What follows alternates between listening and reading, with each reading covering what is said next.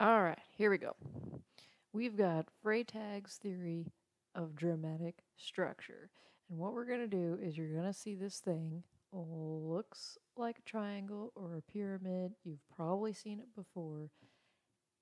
It visually shows you the tension of the story. So we start off and we're nice and easy in the exposition here. It's going to give you all that intro information. Who, uh, we've got Rainsford. What's going on? They're on a hunting expedition. Where are they? They're on the way to the Amazon. All of those WH questions who, what, where, when, why that's what you're getting in the exposition. So then I add this little category called a 1.5 because some kind of catalyst basically gets the ball rolling. Without this event, nothing else would happen. So this really kind of throws us in gear, gets the story started. Without the catalyst, wouldn't be there. Without uh, Toy Story and Woody and Buzz getting lost in the pizza place, they wouldn't have their adventure, right? So, moving on, we have the rising action. And this is basically, think about this as like you're on a roller coaster and all of those steps leading up to the final moment when whoosh, you're down the roller coaster. Each one of these increments increases the tension of the story, builds the suspense to finally the climax. And I like to call this the Rubicon because it's that's a really weird word, and people don't just go around saying Rubicon. But basically, all that means is it's the point of no return. So, does the good guy die? Does he live? Does somebody fall off a cliff or do they not? You can't escape once this has been passed. That sets everything in motion for the falling action. These are the direct consequences.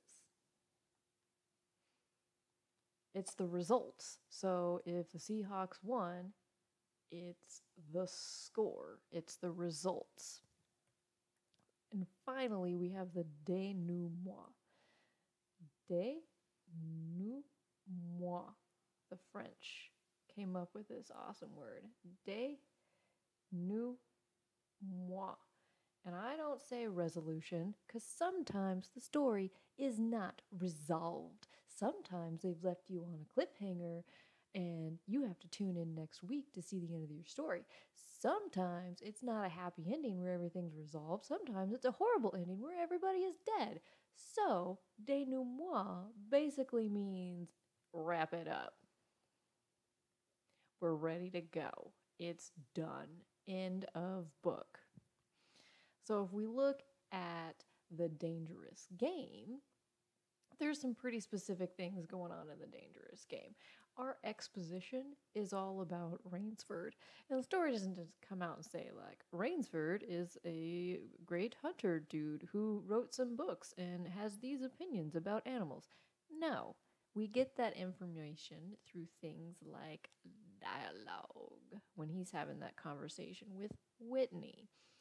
Uh, we get that in the description of um, how he's talking back to Whitney oh no, of course not. He doesn't ever feel for those uh, poor jaguars. He doesn't even think about it. The catalyst had this dude not fallen off the boat.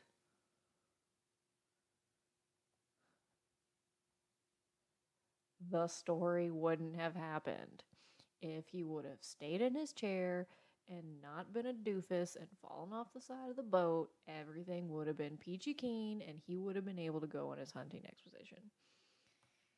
So that set all of these things in motion. We have him uh, finding the blood stains on the beach. We had him finding the mansion. We had him uh, thrust into this position where he's getting hunted. Uh, and we had all those descriptions one to three nights of being hunted. He uh, he killed one of the dogs. He got the general's shoulder, but not him. He killed uh, Ivor, the the Igor big Russian dude. But still was hunted and hunted and hunted up until what was the Rubicon? In this case, I would argue it's the point where Rainsford literally jumps off the cliff. Once he has stepped off the cliff, there he can't defy the laws of gravity and go back to the cliff. No, he is going down. So, with that, we have all the consequences of um, well, we know from the end that Rainsford had to swim. Um, that's a horrible spelling, but you know, you just gotta follow along. We had the general um, making his dinner. Uh, we had him being a sad sack, talking to his dogs, like, good luck next time. Um, we had all these attitudes of, um, let's fix that right there. Good luck. Not a good lick. I don't know what that is. Um, the general going through his, oh, woe is me, that bum, he cheated. Well, I'll get a better prey next time. To then finally, we have another little conflict here, kind of in between the falling action and the denouement, where Rainsford and the general go to fisticuffs. They fight, and whoever wins gets to have the nice, comfy bed. And for our wrapping it up, wrap, wrap it up, it was Rainsford who got to enjoy the mansion.